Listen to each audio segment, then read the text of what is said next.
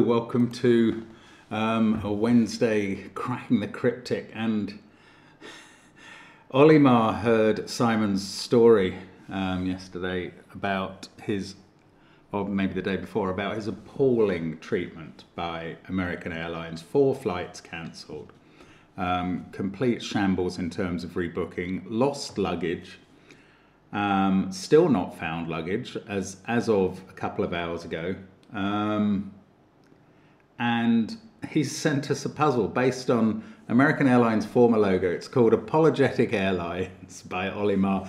And frankly, I think it would be perhaps more appropriately apoplectic airlines. Simon is still raging about the fact, as far as I know it, that American Airlines never answer their phone. It just rings for hours or a robot puts you on hold for hours and I'm afraid they're one of the companies who have just taken customer services to new lows, who can, who think they can get away with almost anything, and uh, it's really appalling. So he can't even get anyone to talk to him, so he can find out where his luggage is or how he could get hold of it.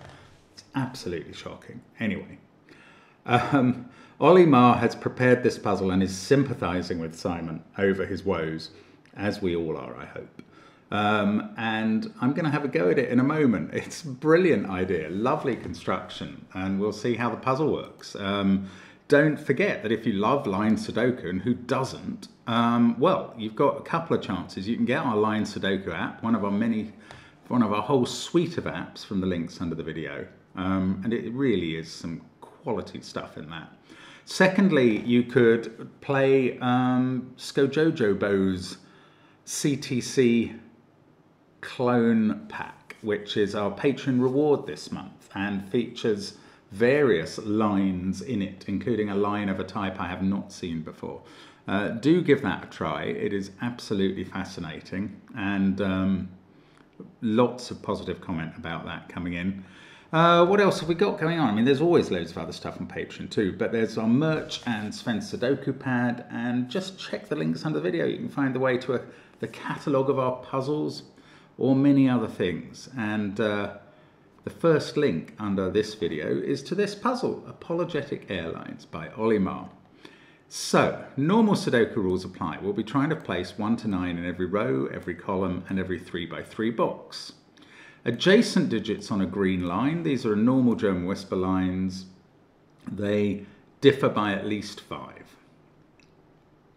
Digits on purple lines form a distinct consecutive a set of, sorry, they form a set of consec consecutive numbers in any order. Um, box borders divide blue lines into segments with equal sums. So those three equal the same as those two, equal the same as those two, and the same as those two. Obviously, the two blue lines could have different standard sums. Black dots indicate digits with a ratio of 1 to 2. White dots, digits with a difference of 1 i.e. they're consecutive. And there's a red square indicating the column number of the 5 in row 1. So that's the puzzle. Give it a try. I'm going to start now. Oops, not with that button, with this button. Let's get cracking. Um, well, we've got this big green heart in the middle. Oh, but we've also got three black dots down the central column. Right, black dot enabled digits do not include 5, 7 and 9. So these three digits are 5, 7 and 9. I tell you what we've got. We've got total symmetry.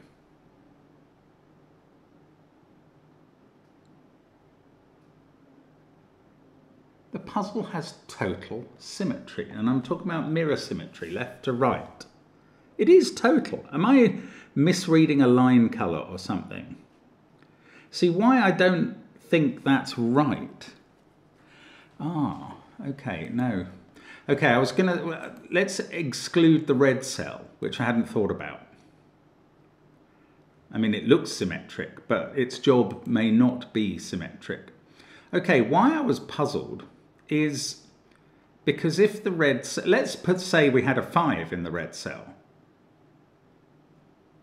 then there would be at least two solutions to this puzzle because however it does complete, you could reverse it. You could swap everything through the central axis and it would still be the same and they'd all be obeying the same rules. That is very peculiar. I'm not going to use that to say that we don't have a 5 in this cell. Oh, we certainly don't have a 9 in it because we mustn't put 5 on a black dot. 5 in the top row now appears in one of those two places. And I believe we are going to find that it doesn't appear here because of this symmetry and uniqueness consideration. But the reason that we don't use uniqueness to solve puzzles is because that way we don't prove that they have a unique solution, and that's part of what we're doing. That's peculiar though. Anyway, okay, the next thing I was going to do a while ago is alternate cells around the green because um, the things we know about green lines are they don't have five on and therefore they alternate between high and low digits, digits higher than 5 and digits lower than 5. And you can't put 4 and 6 in places where, ah, yeah, you can't put 4 and 6 in places where their two neighbours can't be the same digit. So there, the two neighbours are there and there. They, if you couldn't put 4 there, because they'd both be 9, 4 there would require those to both be 9. 4 there would require those to both be 9. So these can't contain 4 or 6. That's either a set of one, two, three, or 7, 8, 9. Oh, and also, these two on the green lines are the same polarity, the same high or lowness. Ah, that's great. Okay, these three black dots in the central column one of them is 3, 6. It's from the family of 3, 6, which always go together on a black dot. They can't share with anything else. The others are from the family of 1, 2, 4, 8, and therefore one of them contains a 1 and is a 1, 2, and one of them contains an 8 and is 4, 8. I don't know which way around they go yet. But that means one of these is a 1, 2 pair, one of them is a 4, 8 pair, and one of them is a 3, 6 pair. Now, what I'm thinking is that if yellow was high, this would be 8 and 6. And that would take up the 8, 4 and the 3, 6 pairs. This would be a 1, 2 pair. And I don't think that can possibly work. Because what would go in this cell? You couldn't put 1 in that cell because, well, it just doesn't work at all. You'd have to put 2 in both of those white dot cells. If you were to put 2 in this cell, you'd need 1 in one of these white dot cells, but you'd already have it here. So this isn't the 1-2 pair. And therefore, yellow isn't low. No, sorry, yellow isn't high. Yellow is low. That must be right. Purple is high, and I'm going to make it orange to commemorate that. Now, So I've worked out that blue is low, and this is now a one, two, three set, because we couldn't put four in any of those positions. This could be a one, two pair, or a three, six pair now. This digit is also, it has two neighbours that see each other. It is one, two, or three as well. Ah, so this is also one, two, or six, just like that cell, and this is the four, eight pair. These well, they're odd. They're either a 3-5 pair or a 7-9 pair. I'm not going to colour them orange for odd, because so far I'm using orange for high. Now, I might change horses in midstream at some point, but I'm not doing it yet. Wow, I mean, this is a complicated puzzle already. And I thought the top row was going to be the most helpful. I haven't really approached that yet. Let's look at this 1, 2, 3 pair next oh, these are from 7, 8 or 9 because their neighbours see each other. Not so in these cases. They, each of those could be a 6 with ones at both sides.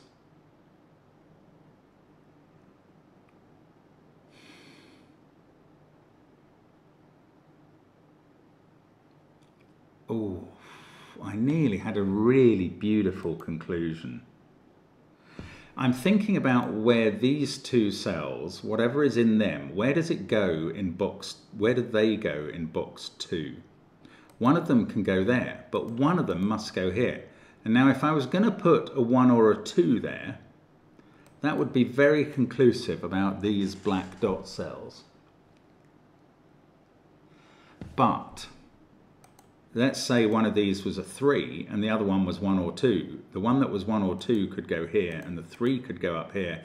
And that is much, well, I mean, it would be conclusive another way about these cells. So I need to do more thinking. Now, these white dots are selected from 4, 5, 6, 7, 8, 9.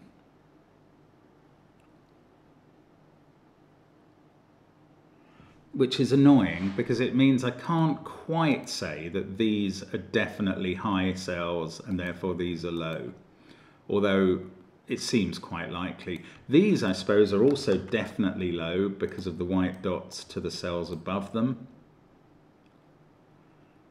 Um, I don't think I can use the blue lines.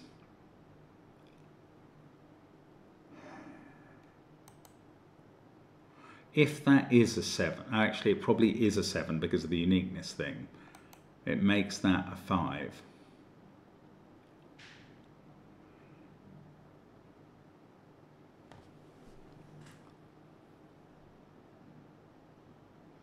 Ah.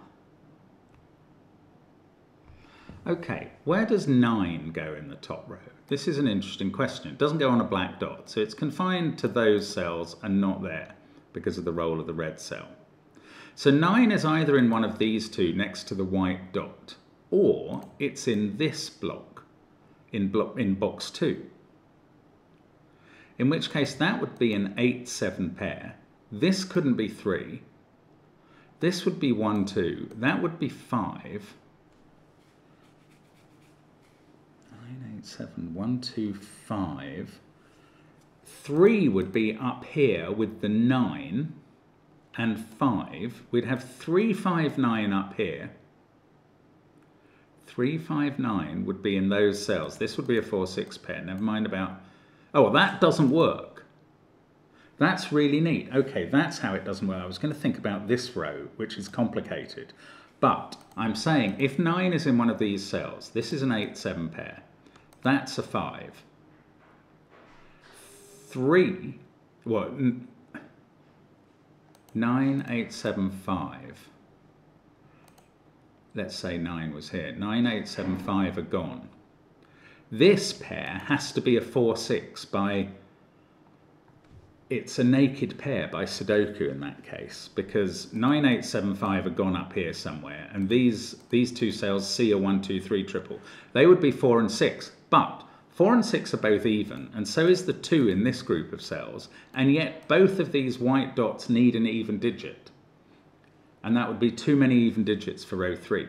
So 9 is not in one of these cells in row 1, it is in one of these cells. I'm going to pencil mark that like this. It's next to an 8 on the white dot.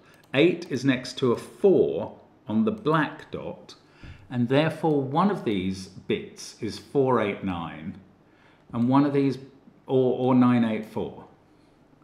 984 pointing away from the middle. So 4 has to be in one of these cells now.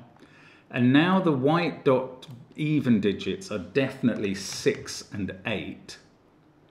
However, on one side, they, they can't be 9 or 8, so they will be using 6. And on the other side, they will be, I don't know if it's definitely 8 and 9, but they'll be using 8. Ah, I mean, this is weird. This is doing my head in already. Um, 984, either there or there. This digit on the 984 side will be 3 or 5. Ooh, the, the high digit on the green line in the box with 984 will be quite low. It'll be 6 or 7, and it'll... Oh, these, these are now low digits since I figured out where 4 was in row 3. Uh, sorry, they're not low digits. They're 6, 7, 8 or 9. So these are low digits. I should colour them really, shouldn't I? These are definitely high. 5 in this row could be on the end of it.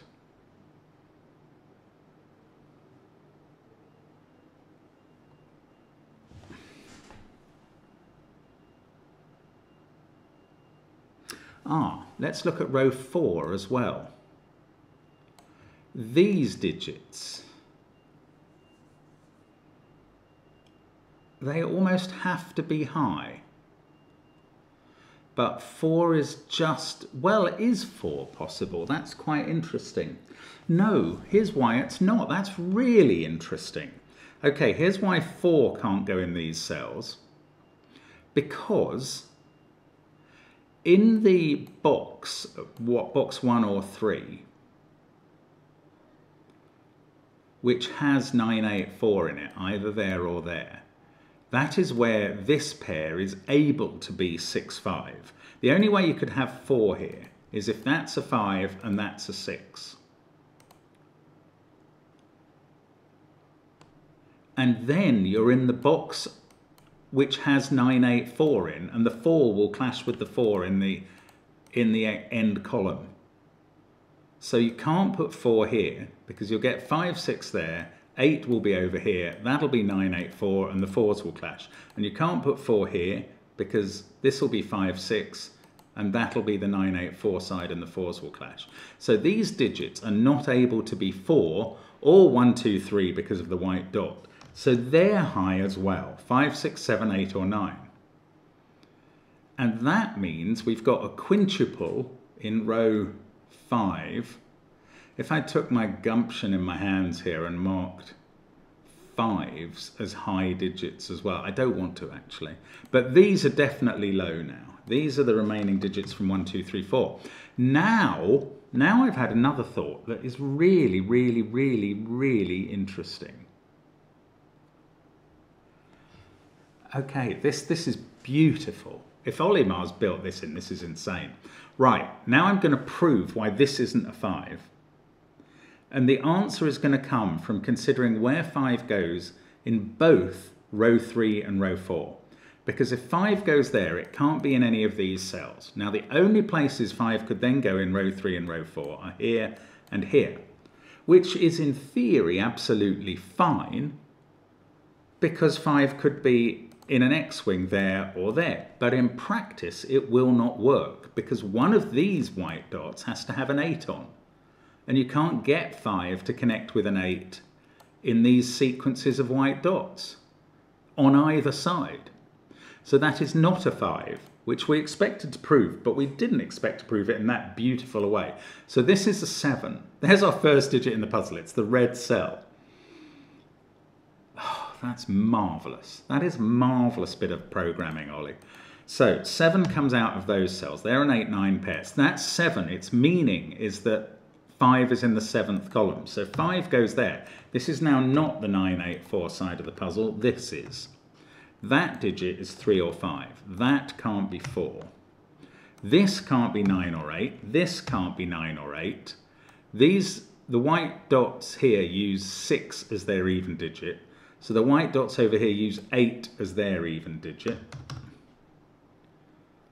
Um, what is this? This is a 6 now by Sudoku. That's a 3. This is a 1-2 pair. That fixes this black dot as 6, 3. We got a 3 in the corner there. I did notice, but I'm too excited about the Sudoku, I'm afraid. So that's a 4, 5 pair. These don't have 3 in. This is not 5 anymore. This is a 6, 7 pair. That can't be 3 by whisper rules. And, oh, remember, this is a purple line, but also we do know its order because of the white dots. So this is 5 or 8 now. If the line goes eight, seven, six, that must be a 1. That seems to be 3 or 5. That can't be 3. Now, we've got a 6-7 pair over there, so this becomes a 9-8 pair. And this purple line means that's a 7. And in fact, we then fill in 8 and 9. 8, 9, 5, 6, 3. We need a 7 in this box. There it is. And this is one, it's not 1, it's 2 or 4. But I don't know which. But look at that progress. 7 comes out of these cells. It also came out of that one. I didn't really notice. This is complicated. These no, okay, I was going to say these can still contain a 6. Much more excitingly, they do now contain a 6 because they're the only places in row 4 where there is 1, potentially. And that means this digit is a 1. And that's a 2. Now, that 2 is going to do something interesting to these purple lines. It's going to say that 1 is not on them. So 1 is in one of these positions in row 6. I could wish that was more helpful. These digits can't be a 4 on their white dot anymore. In fact, one of them is definitely a 2 because one of these is definitely a 1 and it's the one sitting above the 6 here. So one of these is a 2 and those two are not 2.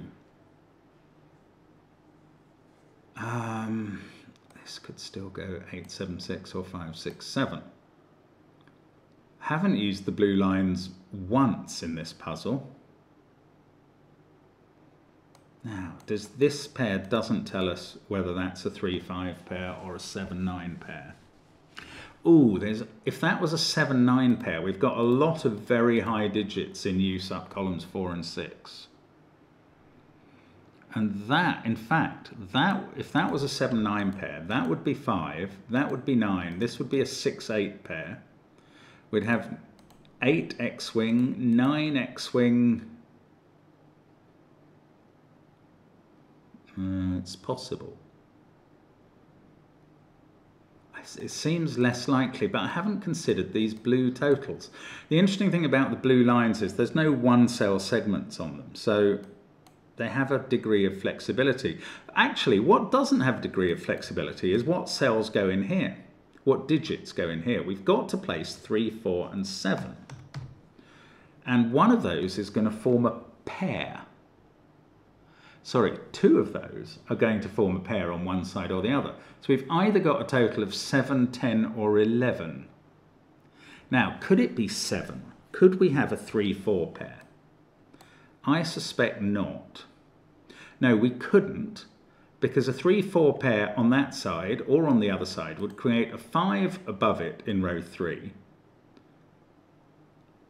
And that would only leave this to be a 1-6 pair, which is impossible given the candidates here.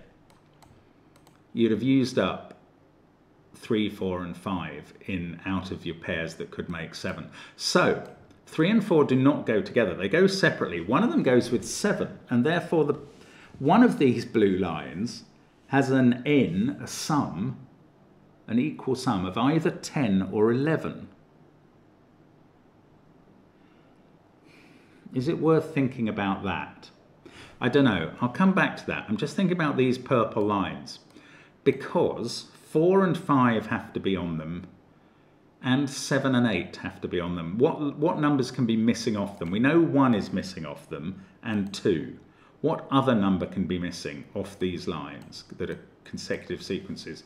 9 could be missing, 3 could be missing, or 6, I think. They could be 4, 5, 6 and 7, 8, 9, or they could be 3, 4, 5 and 6, 7, 8, or 3, 4, 5 and 7, 8, 9. So I think we're selecting from 1, 3, 6, 9 in those cells, which, okay, it's not that interesting. I was just experimenting. Okay, we'll come back to these. One of these pairs adds up to 10 or 11. If it was a 3-7 pair, then down below, ah, down below, we would have to be using a 9.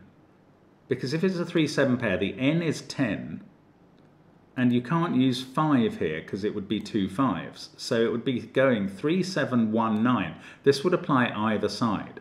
What would happen to the rest of the column? 2, 8, 6. 3, 7, 1, 9, 2, 8, 6. That would not work because this cell would have to be 4 or 5. And if we've used a 9 there, we've already used 4 and 5 in box 8 and that must apply both sides. That's incredible. That's another incredible step. That is as good as that 7 step at the top. Mon monstrously brilliant. I mean, how Ollie has done this puzzle based on that logo, I, hmm, I am in awe here. This, this is not something to be apologetic about. This is incredible. Right, I have ruled out that either of these is a 3-7 pair because, I'm going to go through it again, because that would force a 9 to be used here with a 1 above it. Let's assume it was this side. It equally applies in column 4. But if you did it this side, that 3-7 pair would have a 9-1 pair here, 8, 2 and 6 would be used in the column, and this would have become a 5, 4 and 5 would have been used and this cell couldn't be filled. Incredible. So we don't have a 3-7 pair in one of these. What we do have instead is a 4-7 pair. We've worked out 3 and 4 can't go together. Now we know 3 and 7 can't go together, so the two digits that do go together out of 3, 4, 7 are 4, 7. So on one side, again, let's think it through again. We've got a 4, 7 pair, and that becomes a 5. And now this can't be a 7, a 5, or a 3. It can't be a 7 because that's used in 4, 7. It can't be a 5 because that'll have appeared in row 3. It can't be a 3 because that would need an 8 as a complement to make 11, and 8 has been used in this box. So it's going to go 4, 7 on one side or the other, then 2 in this cell, and 9 in this cell, and now we know 9 is in one of these, and that is an 8, which is not the outcome I expected. That's a 4. This is now a 9-7 pair. And on, okay, let's try and work out what happens on the other side. Well, no, let's first of all think about one side we have 4, 7, 2, 9.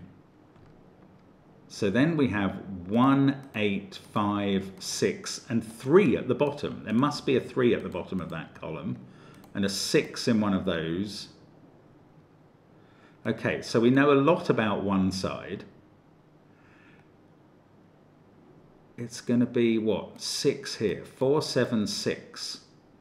Oh, and we know that 9 is in one of those cells. This has become a 5. That's become a 9. That's big, actually. Sorry, I hadn't seen this. That's a 6-8 pair. This becomes 5. Now we can do this purple line, uh, which has also got uh, white dots on it. Oh, did that just stop there? Because that doesn't resolve that cell.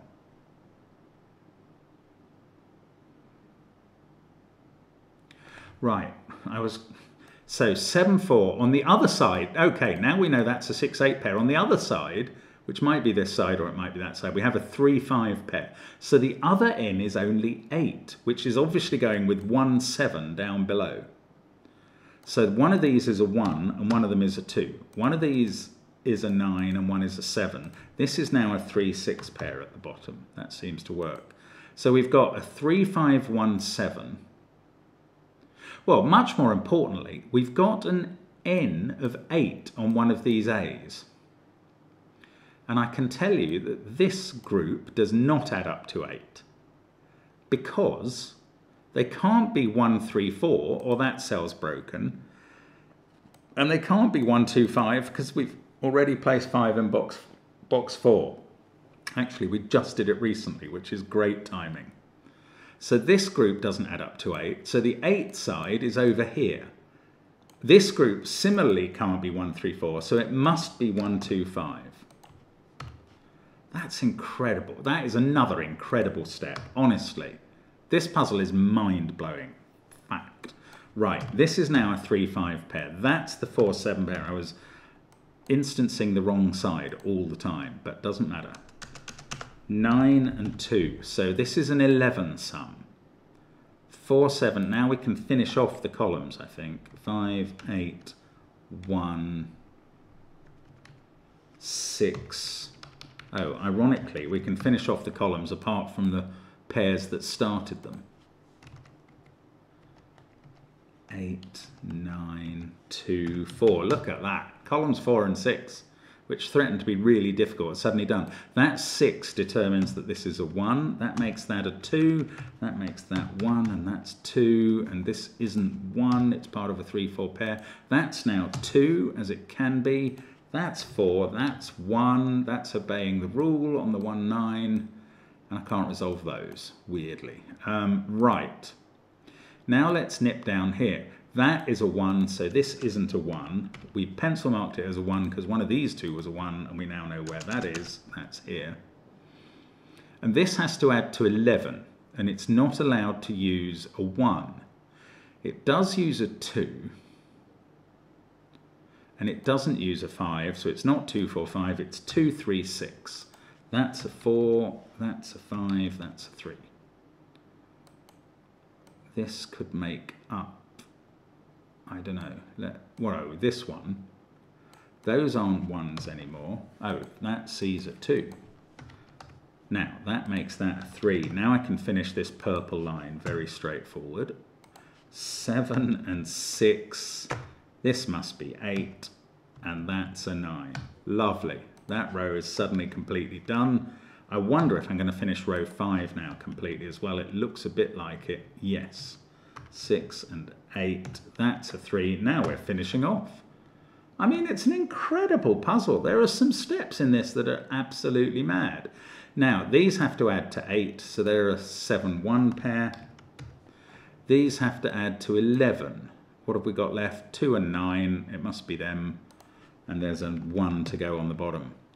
I bet we can just write these columns in now. 5, 4, 2. Um, this one is 387. This one is 456. and this is 369 and what a marvelous achievement by Olima that is incredible. I love that. That's so genius. There are two steps in that puzzle that go beyond things I've seen in a long time and one is figuring out that that's a seven which came from fives not being able to go in both those places. That was incredible. And the other was about these pairs. Absolutely beautiful. Oh, nothing to be apologetic about that. What a brilliant saga of a puzzle to go with Simon's saga of his luggage. No, his travel and then his luggage.